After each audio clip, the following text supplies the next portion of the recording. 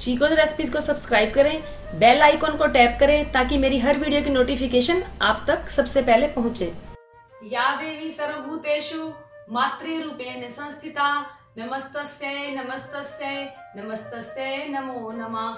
नमस्कार दोस्तों, मेरे इस चैनल पर आपका स्वागत है। आप सभी को जय माता दी। आज पांचवा नवरात्र है और आज माता स्कंद माता की पूजा की जाती है। भगवान शिव और पार्वती के बड़े पुत्र कार्तिक को स्कंदा कहा जाता है। इसीलिए स्कंदा की माता होने के कारण इनका नाम स्कंद माता पड़ा। यह आग की देवी है, इनके तीन नेत्र, चार भुजाएँ हैं और अपनी गोद में ये हमेशा स्कंदा यानी कि कार्तिकेय को गोदी में लिए रहती है। इनकी पूजा करने से मनोकामना की पूर्ति होती है और मोक्ष की प्राप्ति होती है और इनको आज पीली चीज़ या केले का भोग ज़रूर लगाना चाहिए। सुबह और शाम दोनों टाइम भोग लगाना चाहिए और उसके बाद केले और पीली चीज़ का ब्राह्मणों को दान भी देना चाहिए। तो आज मैं माता स्कंद माता की पूजा करूँगी। रोज़ाना की तरह ही उनके ऊपर से पतीला जो मैंने ढका हुआ वो हटाऊँगी। वो डेली रूटीन जैसे इन्हें पानी देना। अब तो ये जो देखो। उग भी आए हैं काफ़ी हद तक।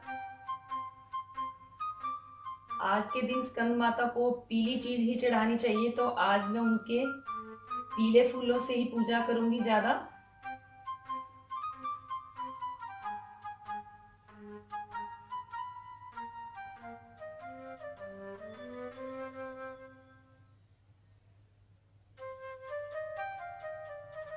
और फिर धूप, दीप अगरबत्ती सब जलाकर माता की आरती करेंगे। कपूर और लौंग जलाकर आरती ज़रूर करनी चाहिए माता की, क्योंकि दो लौंग जलाने से माता के सामने हम जो भी इच्छा रखते हैं, वो ज़रूर पूरी होती है और हम करेंगे आरती।